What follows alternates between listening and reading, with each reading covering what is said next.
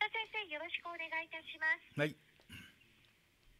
24日に決選投票が行われたフランス大統領選ですが現職のエマニュエル・マクロン氏が極右政党国民連合のマリーヌ・ルペン党首を下し再選される見通しとなりました。マクロン氏の勝利演説も行われていますが今回のこの結果先生どのようにご覧になっていらっしゃるでしょうか？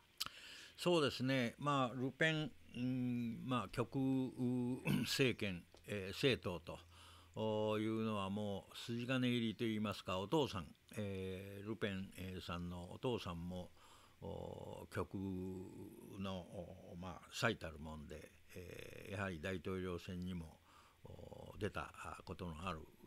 まあ一家揃って、えーまあ、日本流に言えば右翼ということなんですが、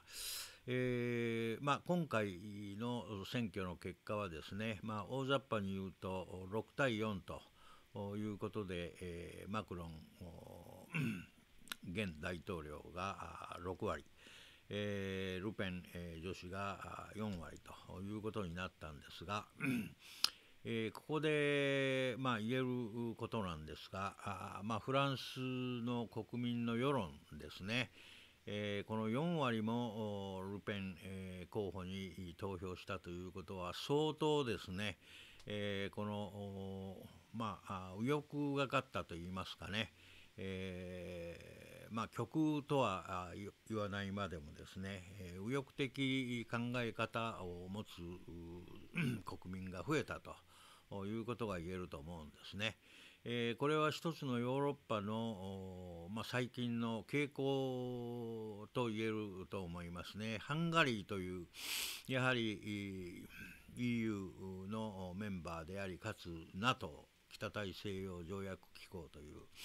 えー、欧州の安全保障機構ですね、えー、この一員でもあるハンガリーえー、この選挙が最近行われまして現職の大統領がまた再選されると。しかもですねその支持率たるや6割以上であったということで、えー、この大統領はですね、えー、この親ロ派なんですね、えー、ロシア親ロ派です。ロシアフロントと言ってもいいと思うんですが、まあ、要するにロシア側に立っている大統領なんですね。でこういうその現在のこの騒ぎがありまして、えー、プーチン大統領は戦争犯罪人とかですねそれから連日のように、えー、ウクライナでのですね悲惨なこの映像というのが、まあ、世界中に流れているその最中にですね、えー、ハンガリーの大統領選が行われて、えー、そしてその結果はですね、えー、今言ったように、えー、ロシア側の、えー、現職大統領がですね圧倒的な支持を得たということなんですね。えー、まあこれは珍しい話ではなくてですねヨーロッパ全域に、えー、いわばこの右翼的と言ってもいいほどのですね、えー、勢力がだんだんとですね台頭してきてるということなんですね。えー、まあ右翼的というよりもですね、えー、どちらかというとリベラルでない まあ、リベラルというのは民主主義の基本的哲学なんですがそのリベラルではなくどちらかというとですねえー、先制政治ですね。独裁政治あるいは先制政治。オートクラシーっていうんですが先制主義の方向にですね向かってるということが言えるわけなんですね。まあ、今回のルペン候補の前線えー、4割もフランス国民のですね支持を得たということはですねもう明らかに、えー、そういった オートクラシー先制政治の方に先制主義の方向にですね、えー、国民が向かっているということが言えると思いますね。まあ、今後欧州えー、EU に加盟している国だけでも27カ国28カ国あるんですが、えー、だんだんとこれからですね、えー、大統領選あるいは首相選ということが行われていくわけですがおそらく、えー、同じような傾向が続くというふうに思われますね。えー、これはですねある意味ではアンティアメリカなんですね。えー、反アメリカであり非アメリカ、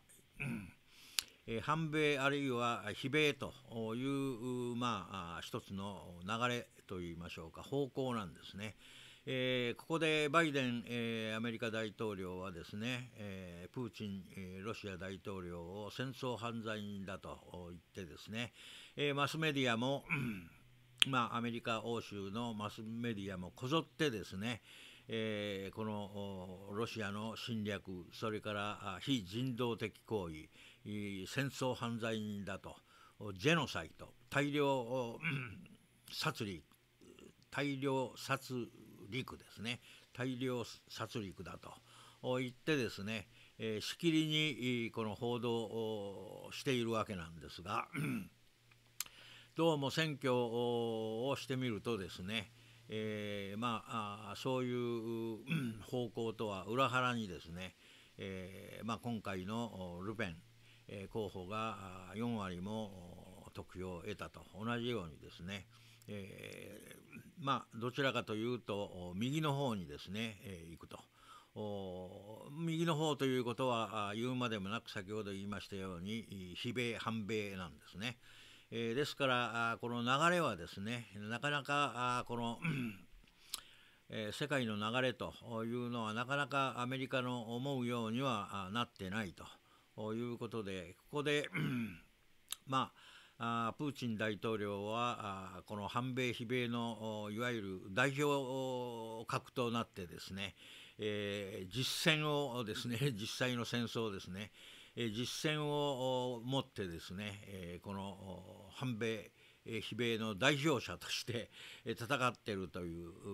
まあ アメリカの経済力から言っても軍事力から言ってもですねえ、数字の上ではロシアは到底太刀打ちできるような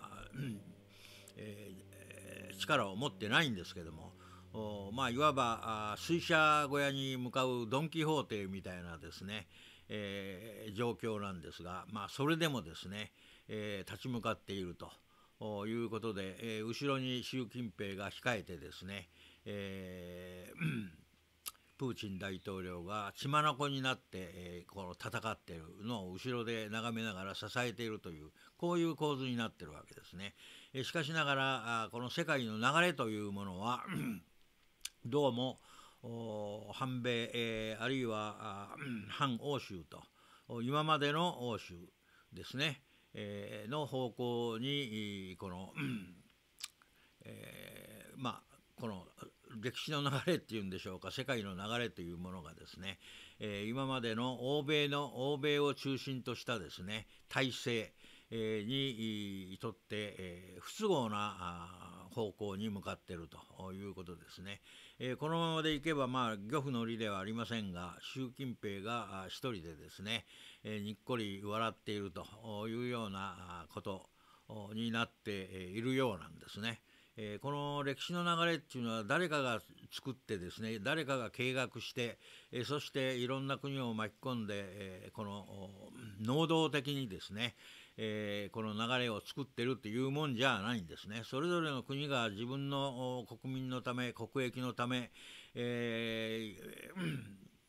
まあ我が利益のためにですね、えー、まあ、口先では民主的なことを言いながらもやはり我が国の利益第一ということをですね、えー、念頭に置いて、えー、それぞれ、えー、できる限りのことを、まあ、してるわけですね。えー、その結果がですね、えー、この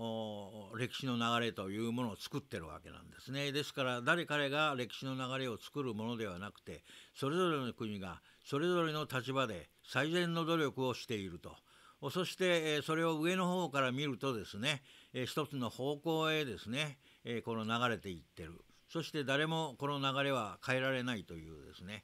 これがまあ世界だとまあ私はそういう見方をしてるわけですがそういう言い方をするとですね、え、どうも世界はだんだん右の方今までの戦後のリベラルの哲学というものがだんだんとこの 衰えていって、え、オートクラシー先制政治という方向へですね今向かいつつあると。まあ、なんかあそういうことの一端がですね、え、今回のフランス大統領選で、え、見えてきたとということが言えるんではないでしょうかね。増田先生ありがとうございます。はい。